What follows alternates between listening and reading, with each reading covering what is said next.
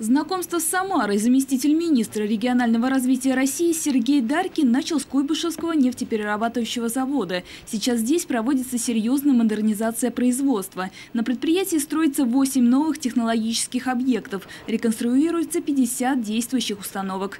Это нужно для того, чтобы полностью перейти на выпуск моторных топлив, соответствующих экологическим нормам Евро-4 и Евро-5. В этом году на модернизацию завода направлено более 11 миллиардов рублей. Куйбышевский НПЗ войдет в пул предприятий, которым будет оказываться поддержка на федеральном уровне. Моя главная задача – это первая прямая помощь федерального центра э, всей области и вот всему тем кластерам, которые сегодня развиваются на Поволжье. Самара – такой очень живой, очень э, комфортный регион э, для бизнеса, как я вижу, что очень много работает, очень много торговых центров, э, компаний, малого среднего бизнеса.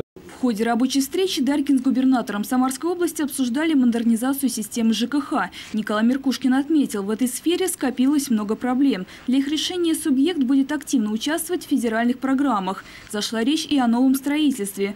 Региональные власти намерены реализовать программу доступного жилья. Область окажет значительную поддержку тем застройщикам, которые будут продавать квартиры с 20% скидкой. Для людей Э, жилье оказалось доступным. То есть это речь идет о жилье где-то на уровне 30 э, тысяч, может быть, максимум 32 тысяч рублей за квадратный метр. А может быть, где-то будет и 26-28 тысяч.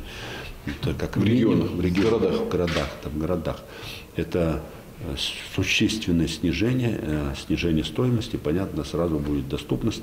Говорили и о других масштабных проектах, в частности, о строительстве в регионе нового моста через Волгу. Отчасти это поможет реализовать и другие стратегические инициативы. Сделать так, чтобы э, новый или старый великий шелковый путь из Китая в Европу все-таки проходил через Самару.